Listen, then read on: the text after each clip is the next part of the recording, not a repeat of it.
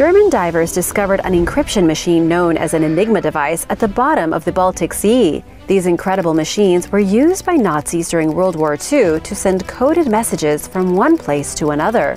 The Enigma machines were so complex that Allied scientists had no clue what to make of them.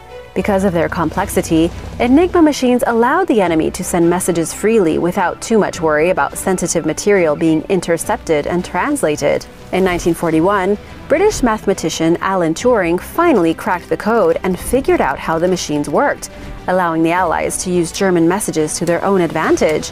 Historians have estimated the war was cut short by at least two years. But what was this machine doing at the bottom of the ocean?